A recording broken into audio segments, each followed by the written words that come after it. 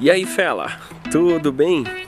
Dá uma olhada hoje, tá um dia ensolarado aqui, então aproveitei para sair de casa e gravar na rua de novo. Bom, primeiramente queria agradecer aí a todos que têm é, participado, aos novos inscritos ao canal. Aliás, a gente completou aí mais de mil inscritos no canal. E ah, só para lembrar, esse aqui é o bairro onde a gente tá morando agora, né? Só para vocês verem como é tranquilo aqui as ruas. É... Bom, enfim, ali é a... embaixo a Dublin Road, era uma avenida que ficava... Bom, a gente tá a uns 100 metros da outra casa de onde a gente morava, né? Então é bem pertinho. A gente tá muito feliz porque até cinco meses atrás, né, quando a gente começou a ideia do canal, a gente ficava pensando assim, nossa, já pensou quando a gente tiver uns 100 inscritos? Imagina 100 pessoas assim interessadas por um conteúdo, de uma, enfim, de uma coisa que a gente na verdade começou mais como um hobby, né? E é, e é isso aí. Obrigado mesmo e vamos continuar. Uh, só para matar um pouco mais a curiosidade agora que chegou o frio, né? Como vocês podem ver, é bem as coisas ficam bem diferentes aqui, as folhas das árvores caem, né? Vocês vão vendo que as, as folhas estão tudo vermelhinha, aí tem as árvores que já estão sem folhas. E o mais engraçado, não sei se dá para reparar por aí, é o asfalto ele fica úmido. Porque, por exemplo, estava chovendo ontem, né? E aí, como a temperatura agora tá na faixa de, hum, sei lá, uns 7, 8 graus, não seca o asfalto, mesmo que esteja sol.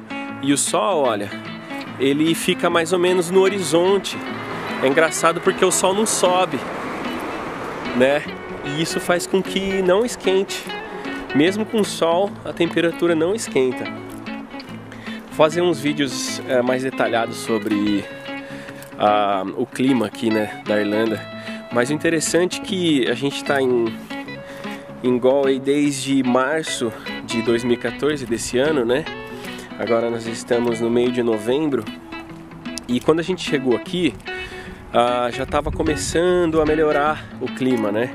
Já estava começando a subir a temperatura. E, e, até então a gente esperava que no inverno fosse a mesma coisa como Dublin, né? Por exemplo, quando a gente estava em Dublin, ah, era muito difícil porque chovia todo, chovia todo dia na Irlanda, assim, né? Inteira. No inverno é impressionante como chove, assim, praticamente o tempo todo. O tempo está fechado. E só que em Dublin ventava muito, assim, todos os dias praticamente ventava demais, mas é um vento muito forte. E o que a gente tem percebido aqui em Galway é que aqui a gente não tem visto tanto é, problema com ventos, né? Bom, é, só essas curiosidades, né? Na verdade, eu tô gravando esse vídeo para responder um, algumas pessoas que têm nos perguntado aí sobre idades, a ideal para fazer intercâmbio. É, olha, tem pessoas aí de 50 anos, mais de 50 anos, às vezes perguntando o que que eu acho, como é o mercado de trabalho para essa faixa etária. Ah, se eu puder responder assim por, por opinião e não eu não vou ter uma, uma base assim precisa para dizer qual é a grande realidade do mercado de trabalho para acima de 50 anos aqui da Irlanda, porque eu estou muito pouco tempo aqui, né? Então deixa eu só tomar cuidado para atravessar aqui. Eu vou cortar caminho aqui por essa empresa aqui, que dá para fazer isso. É... Eu estou indo no centro gravar o vídeo sobre mercados, finalmente. É, então, assim, para as pessoas que vêm como estudante, é, na minha opinião, o mercado de trabalho para pessoas, para estudantes, né, pessoas com visto de estudante acima de 50 anos, é, é um pouco baixo, né? Por que, que eu digo isso? Porque em todos os lugares que eu vou, dificilmente eu vejo estudantes é, acima de 50 anos trabalhando. Né? Ah, isso não significa que você não consiga se virar financeiramente aqui. Obviamente que você pode exercer alguns trabalhos como autônomo.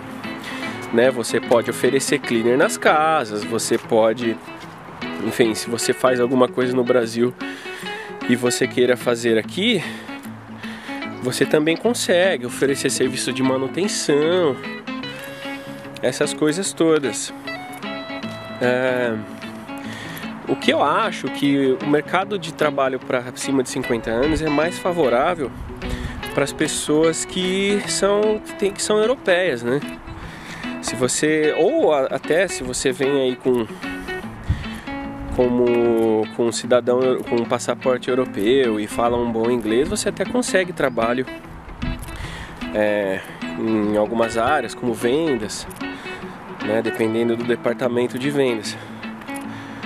É, mas assim,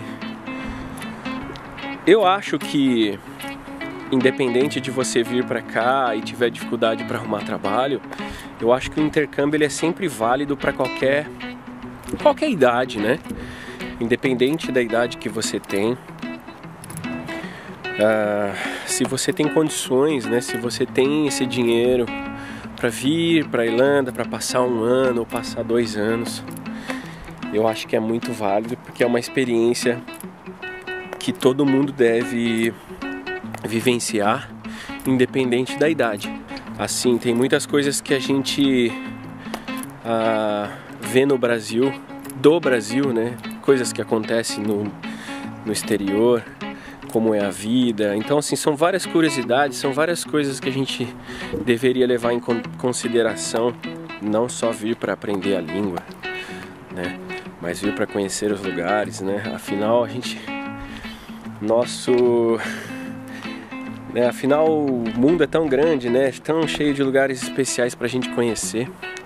Então acho que vale muito a pena sim a gente uh, vir independente da idade, independente se você for conseguir trabalho ou não. Claro, se você tem condições, né? É, mas é isso. Estou caminho aqui do, do centro, fazendo um caminho diferente hoje. Eu gosto de ir conhecendo os lugares. Então estou indo gravar vídeos sobre compras em supermercado. Falou, um abraço. Cheers!